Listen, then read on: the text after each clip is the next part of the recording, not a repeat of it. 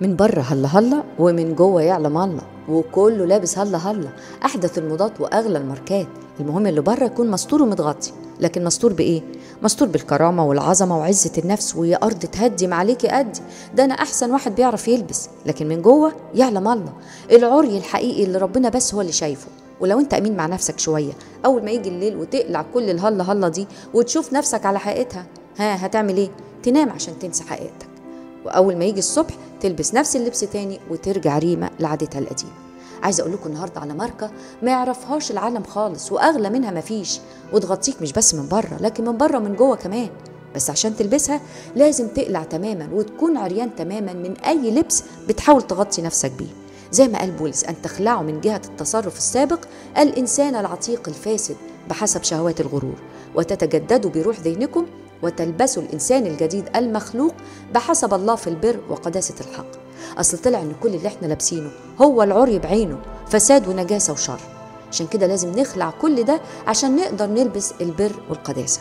وهو ده معنى الخلاص إننا نخلع الإنسان العتيق اللي بيدينا كبرياء وذات وغرور وعظمة مزيفة.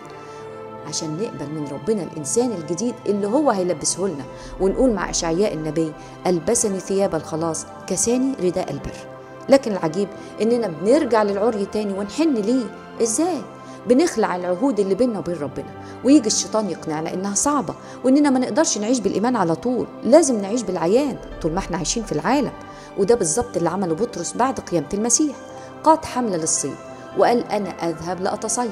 أصل في احتياج مادي لازم ناكل ونشرب. صحيح مش غلط إننا نشتغل زي بولس كان صانع خيام.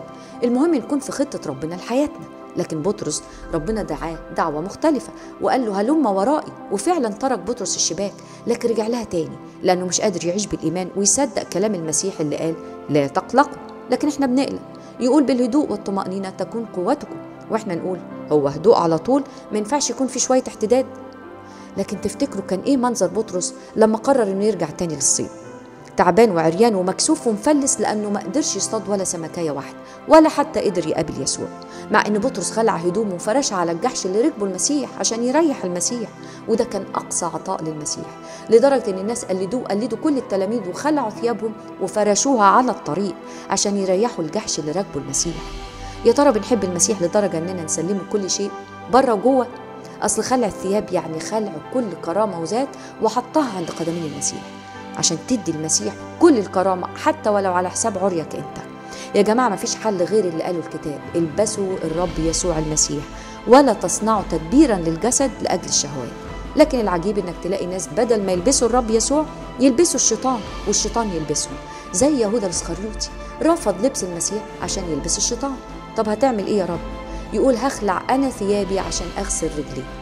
الرب تنازل عن كرامته وبهائه عشان يعتني برجلين يهوذا ويقدم له لمسات خاصة في غسل رجليه لعلها تقوده للخلاص ويمسك برجليه لعله يتوب وحتى آخر لحظة يقول له يا صاحب لماذا جئت؟ لكن الحقيقة ربنا ما غسلش بس رجلين يهوذا لكن غسل رجلين كل التلاميذ عشان يقول لهم أنا خدامكم مهمتي إن أغسلكم وأطهركم وأقدسكم. يا ريت نستمتع بالمسيح كل يوم عشان يدخل لأعماقنا ويكشف لينا أعماقه. لكن آخر حاجة لازم نخلعها وكل واحد لازم هيخلعها سواء رضي أو لم يرضى هي الخيمة الأرضية يعني جسدنا اللي قال عنه بطرس مسكن وكل واحد ساكن في جسده لوحده. يعني مش بس اللبس اللي بنخلعه لكن الجسد كله هيتخلع. المهم لما يتخلع يا ترى هيستقبلك الرب يسوع زي ما استقبل استفانوس وقالها أنا أنظر السماوات مفتوحة وابن الإنسان قائما عن يمين الله؟ ولا هيتقال عنك زي ما اتقال عن الغني؟ فرفع عينيه في الجحيم وهو في العذاب قبل ما تخلع مسكنك اتأكد إنك خلعت الإنسان العتيق. وحط كل ذاتك وكبريائك وغرورك عند قدمين يسوع اللي خلع ثياب الملك وأخذ صورة عبد عشان يلبسك ثياب الخلاص. وإن كنت لبست الإنسان الجديد أوعى يقنعك الشيطان إنه يخليك تخلع ثياب جهادك وقداستك ويخليك أنت اللي تغسل رجليك مش المسيح اللي يغسلها لك. زي ما أقنع عروس النشيد وقالت قد خلعت ثوبي فكيف ألبسه؟ قد غسلت رجلي فكيف اوسخه